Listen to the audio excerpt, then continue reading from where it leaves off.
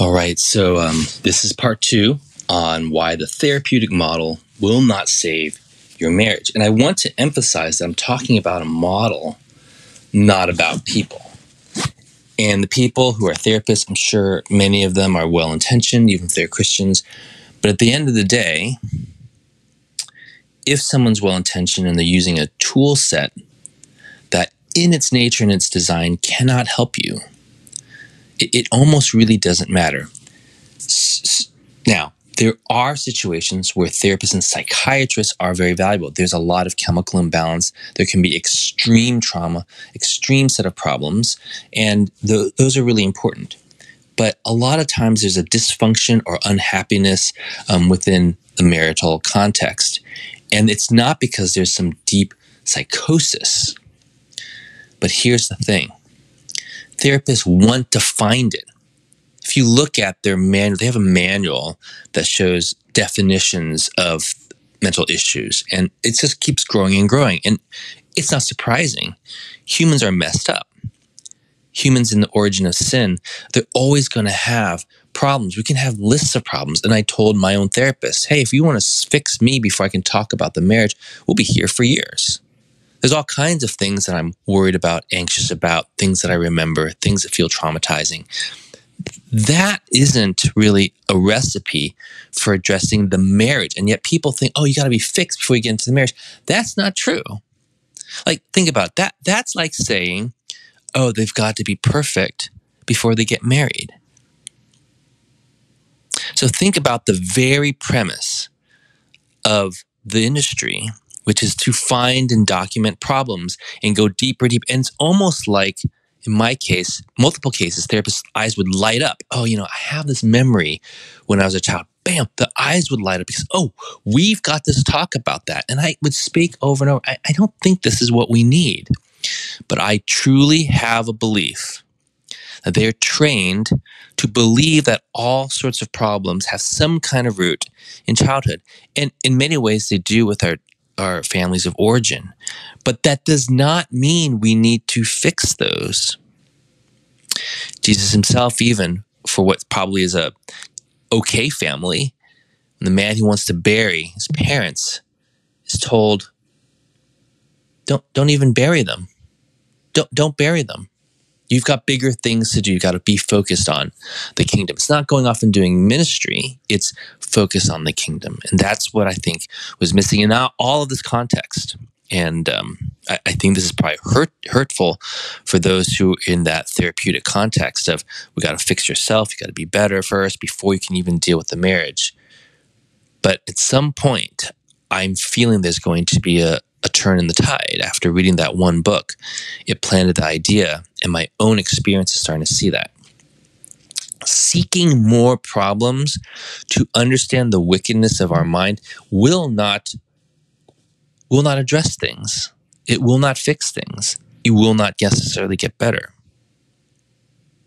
Because what you look at really is what you'll go towards. And that's certainly what happened to me. And you know the old saying when you're driving a car, and don't don't look at the area that you want to avoid crashing into. And you, you, if you start staring at you staring at it, guess what happened? The car is going to s- smash into it.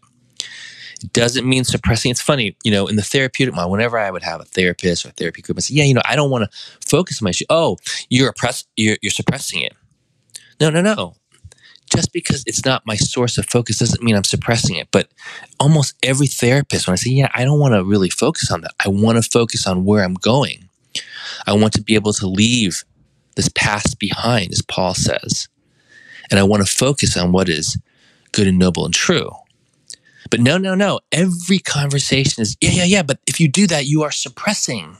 You're suppressing yourself. Do you see how the therapeutic model has some challenges with this? It's almost like it's specializing in its sickness.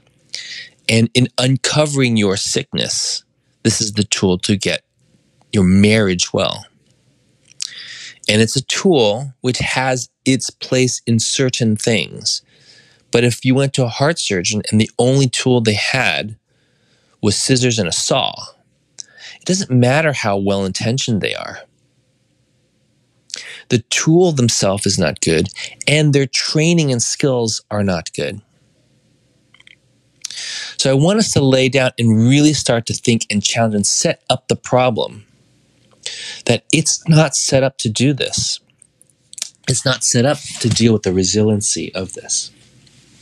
And again, it's not a broad brush, but like with anything that has been industrialized and commodified, such as most forms of training, training which goes back to Jung and Freud, um, none of which was necessarily great um, as an origin.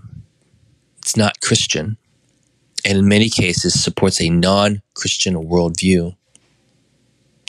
I, I don't see why we give it so much thrust. There are alternatives, and I'm going to get that to that in the next section. But but it's very important to ground an understanding of why there's a, a, a problem I want to um, say that some ideas I have had are from people who are therapists and seemingly have a Christian background. And so I've pieced together elements that work. But you know, the best material has never come from that. It really does come from scripture. So this becomes the last thing if you're a Christian. What is true? stuff that's been put together by man with no grounding in origin with scripture that comes from a tradition, Jungian, um, Freud, that has questionable, very questionable basis, even from a scientific basis. And so many things, even reaction to Freud, are just reacting to a bad thing. You can react and change and improve upon a bad thing, but that doesn't mean you're closer to the truth. Do you know what I'm saying? And the only source of the truth is ultimately the scriptures, understood well. Not everything can be solved there, but I, I am just really believing more and more that we've got to be very cautious about how um, things kind of like enter into the mainstream. A good example is um, the McKinsey report. I think it's called the McKinsey report and he did a big sexual study and it influenced i don't know generations of people thinking about sex but only recently in documentaries they say oh you know his stuff was incomplete and actually very damaging and he had kind of a perverted view of the world to begin with when it came to sex and yet I believe there are studies and practices and marriages and therapists who who probably took that point of view and said, okay, we're going to help people based on what comes from this. And so I, I, really think in this age, we've got to be cautious. And so I want, before I move into the next section, to make sure you have a grounding that's asking, well, wait a minute, I'm going to a therapist. They say they're Christian, but what are the Christian foundations around which we can build reasonable um, th- therapy, ways to help people and I'm focusing on the nature of marriage.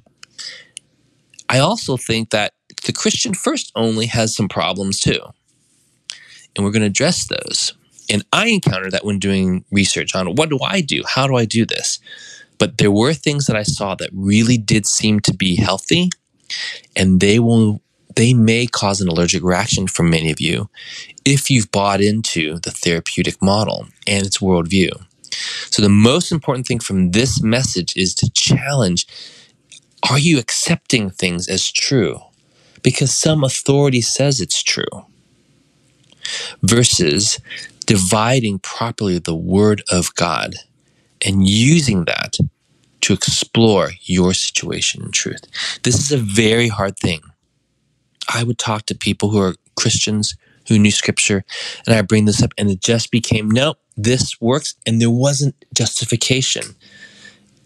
We can deceive ourselves, and the only way for you to avoid problems, problems that I had, and problems I think many people have had, is to really ask yourself at the end of the day, what truth is, and what do you want to follow?